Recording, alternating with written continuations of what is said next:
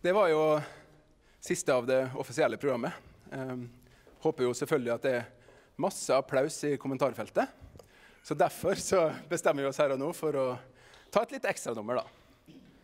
Uh, vi skal avslutte med en uh, låt vi syns passer veldig fint nå. Sommeren er godt på vei.